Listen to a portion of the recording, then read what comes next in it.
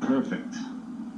Now, boys, for this young amateur Ross, where really is the advantage for him? Is it on the course or is it off the course with the fact he can just relax with friends and family?